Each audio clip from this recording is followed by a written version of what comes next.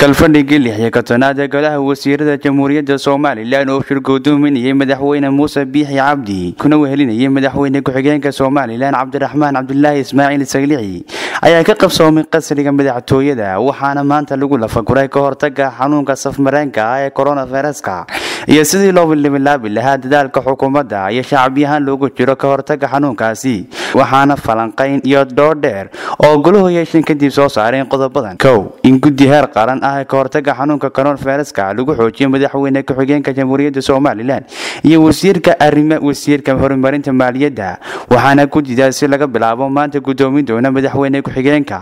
Laba in maadaama oo dadka intiisa badan ay ku dhaqan yihiin caasimada somalilan ee hargeysa guddi heer degmaha caasimada iyana lagu xoojiyay wasiir ku-xigeenka arrimaha gudaha. Barasaabka gobolka maradijeex iyo agaasimaha guud ee madaxtooyada. Waxaana guddidaasi guddoomin doona wasiir ku-xigeenka arrimaha gudaha si ay u diyaariyaan goobaha caafimaad. Saddex in dib loo eego cashuur dhaafkii xukuumadda hore u samaysay. Afar in la hakiyo mashaariicdii horumarinta ee ku jiray miisaaniyadda sanadka shan inay dowladdu iibiso dhammaan raashinka wadaniga ee ka soo gaca beeraha dalka. Waxaanu ka mid noqon doonaa raashinka kaydka qaranka. Lix waxaa kale oo golo hogaamiyey in cashuur dhaaf la sameeyo oo agabka iyo dawooyinka lagula tacaalo xanuunka coronaviruska.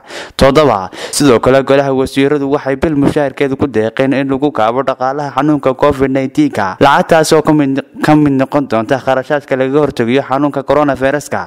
Sideed ugu dambeyn waxay golo hogaamiyeen wixii hadda ka dambeeyay shirarka la isugu iman jiray waraaqihii la isu gudbin jiray xafiisyada loo bedelay habka tiknolojiyadda si looga hortago faafidda xanuunka coronaviruska xamse muuse cabdi xamse dalxa star t v